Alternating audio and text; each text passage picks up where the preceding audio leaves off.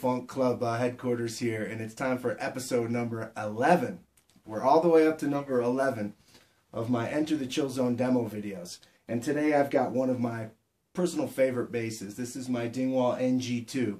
Uh, uh, Nolly Getgood Signature Series model. I changed the pickguard on it because I wanted to have a white pickguard on it and um, just changed the look a little bit to make it a little bit more personal to me. And I'm kind of a happy-go-lucky guy, and I think that this is such a happy bass. Um, it's interesting that this instrument is used in a lot of heavy music, a lot of the jank, jank, jank, jank kind of music, and that's cool. It's amazing. It's a, it's a testament to how successful the model is. But um, for me, I do different stuff than that. You know, I do rhythm and blues and funk and soul and country music and all kinds of stuff, and it works perfectly for me in in that um, context. Um, I use it live pretty much, you know, in, in terms of um, my, the instruments that I take on my primary gig with the Johnny O Band. This is probably in the top three, so it gets used uh, a lot. And um, the extended range of the um, of the lower strings really behaves well in our PA system, and the low fundamental, the way that it sits in our subs, has a really clear, deep, and powerful fundamental that um, you know the and, and and the way that it has kind of like a definitely a um, a, a modern sound. You know, it's got that. You know, those guys in my band call it the Seinfeld bass.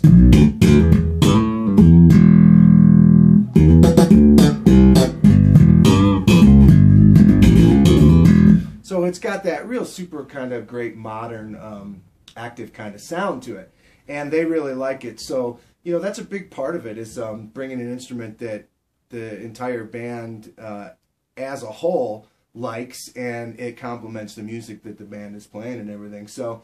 Um, yeah, you know, I don't use it for the super heavy stuff. I use it for funk and R and B and stuff, and it uh, it does a fantastic job, and I love it.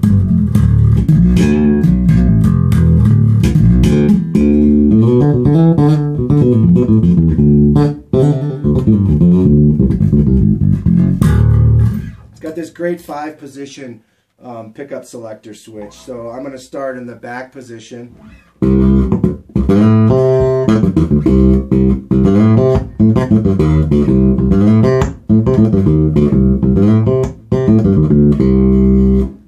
Next position up, which is the series position or mid boost as they call it. And that's the one that I use all the time. I don't ever use any other position but this one.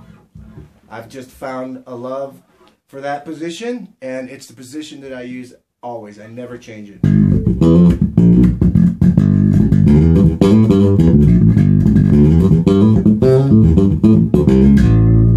Then there's the middle position. Starting to get very big.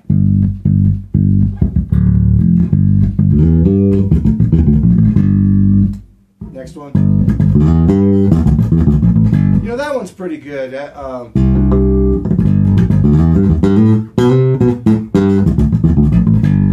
I could probably use that one. Oh, it's actually four positions, not five. So that's the front one.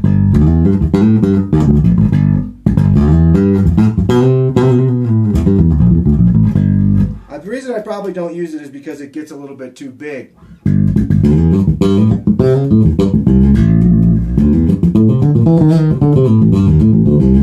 You know, for my for my taste, I like that second position. And then it's got a three band uh, preamp on it, which is currently not even engaged, and I seldom use any of it.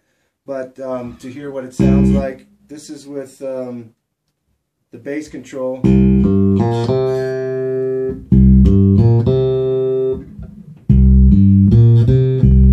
So tons of clear, clean, active bass. This is the mid-range control.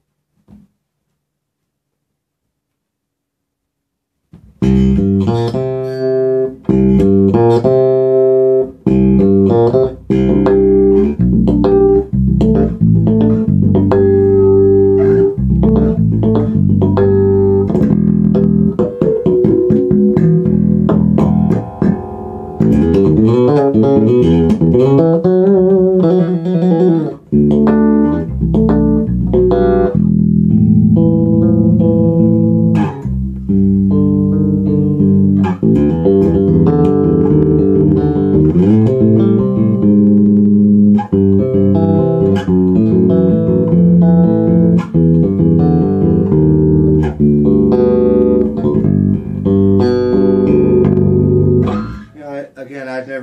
much mid range, but it's a great sweep of mid range. And then the treble. And that that's just.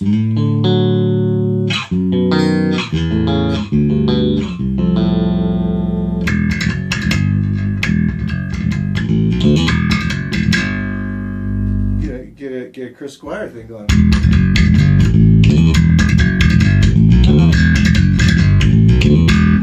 So, you know, it's just a wonderful sounding instrument. It's great that has the flexibility of the EQ. If anything, I boost a little smidgen of the bass and um, a little smidgen of the mid-range. And that's only rarely. You know, if I'm on stage and I'm in a certain environment, you know, every room sounds different. Every environment sounds different. Sometimes you need a little bit more of this or a little bit more of that. But I don't go hog wild with the EQ. I never have. I never will. I use this uh, second position, pickup uh, position, the, the series position, all the time.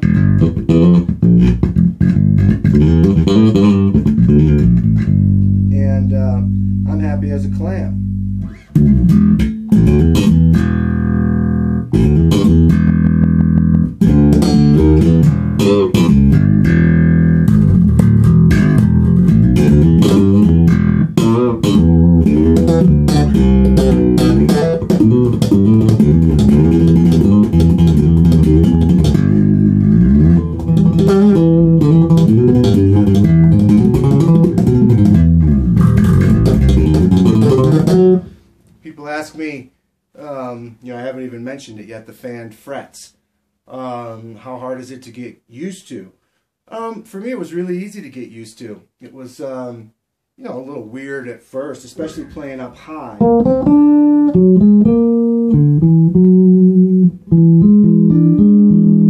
Because everything's kind of going that way up high.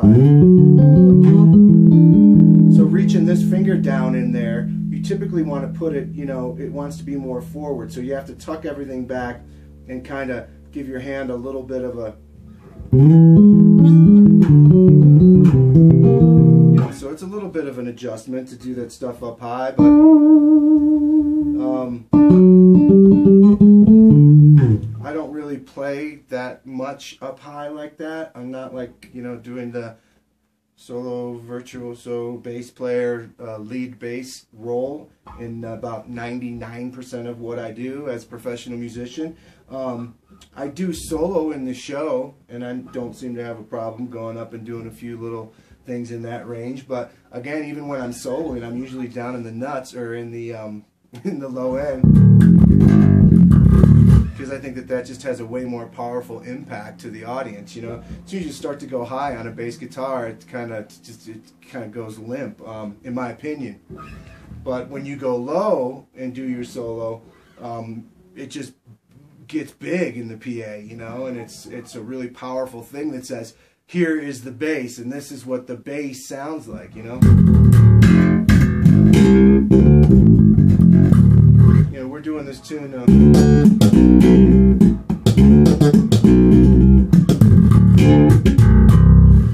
this tune called Time, and uh, that's the bass line.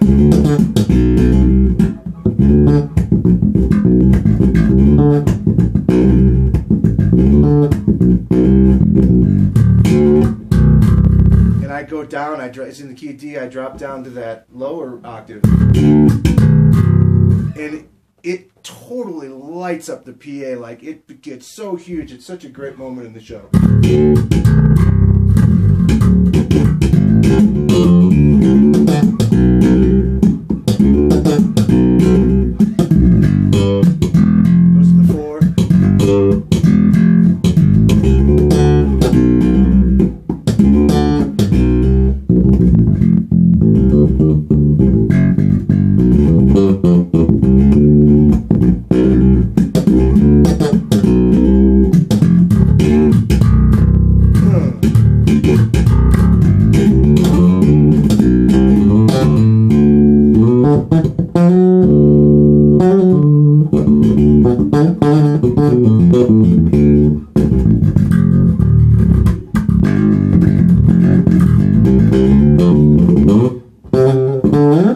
That's one of the songs that I get a big funky bass solo feature in, and um, being in the key of D.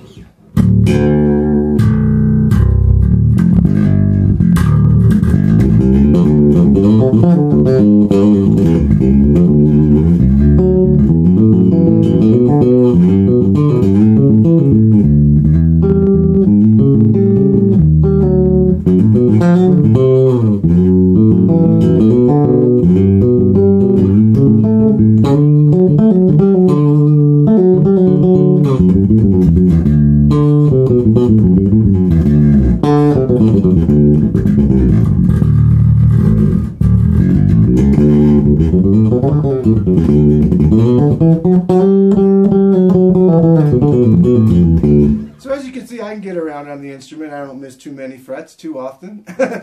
um, and uh, you know, I've gotten used to it because I've been playing it a lot. And and like I said, it just does a fantastic job for me in the live application with my band. Um, I love the vibe of it. I love the bright yellow color with the white pickguard. You know, I think it's a really kind of a, um, a happy bass.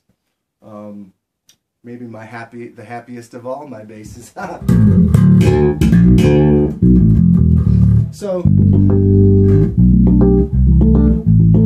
I don't know what else to say other than to compliment Sheldon Dingwall and his staff because this instrument is uh, is an overseas import instrument, but they have a great they have the system down. They have it dialed in.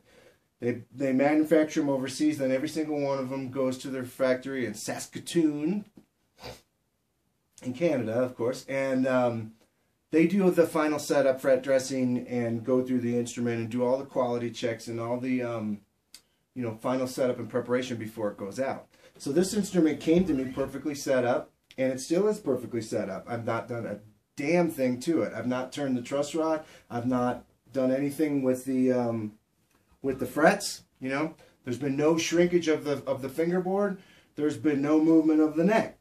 Okay, there's been no crack, snapple, pop, um, snap, crackle, pop in the electronics, and the bridge has stayed put. And all I can say is it's held up great. And for an instrument that gets a lot of use, as hard as I play, I mean, you just watched me uh, play as hard as I do with my right hand.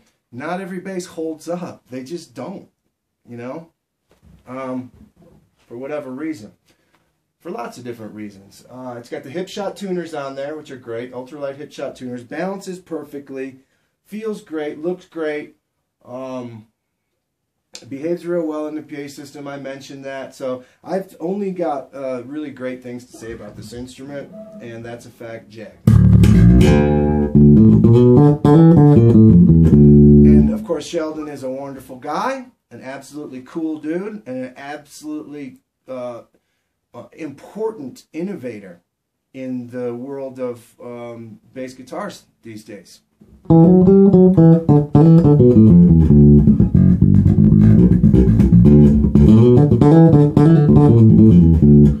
Ever met Sheldon will tell you the same exact thing. They have a great thing on their website that I think deserves mention and compliment is that every single, uh, their website is actually like a social media platform. It's kind of like the Daily Funk Club website where when you make a comment, you can comment on any of the instruments um, in the spec area and it's almost like a bulletin board. So you can make, if, if you're considering buying this bass, you can go there and you can make a comment like and ask a question and Sheldon or one of his people will answer that question right there and then you know you get your answer and it's posted publicly. So a, a, lot of the maybe the common questions are already there for you to see. So that's such a great thing because if you're getting ready to drop whatever it is these things cost i don't even know. I know that they're very highly in demand and they might be back ordered because they're popular. And um, you know i think it's at least a few months wait to get one if not more. Maybe six months.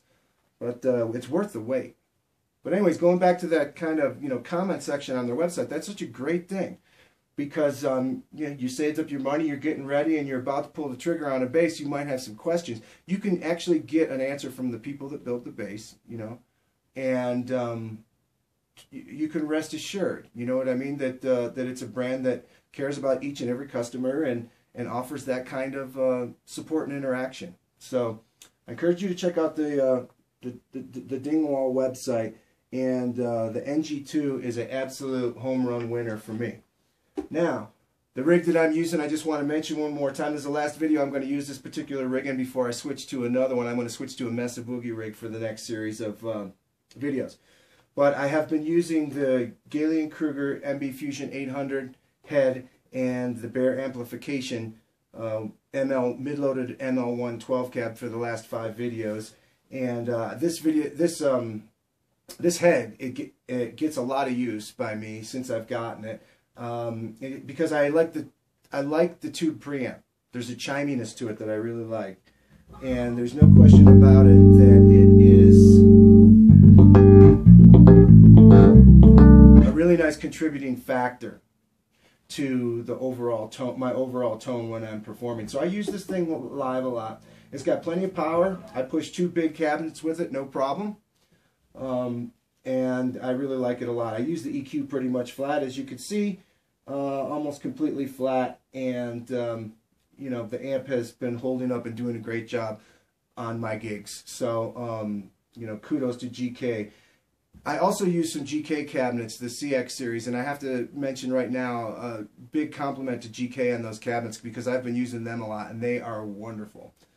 Uh, and then the ML mid-loaded cabinet just has a great um, different kind of um, full range sound without a bullet tweeter or a horn in it. It has a coned uh, mid high frequency driver in it. So it doesn't have that harsh brittle top. It has a nice softly rounded off uh, top end. And if, if um, anybody is into like slap bass or playing with a pick, then you know what I'm talking about, how those tweeters can get um, oppressive very quickly.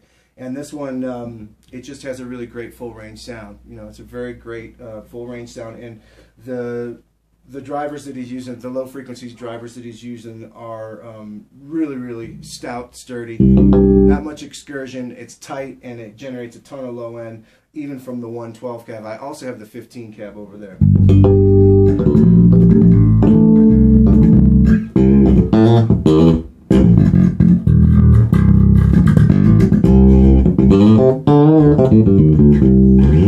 Better sign off because I could literally sit here and play this bass for you all day long. Thanks for watching. We'll see you next time. Rock on.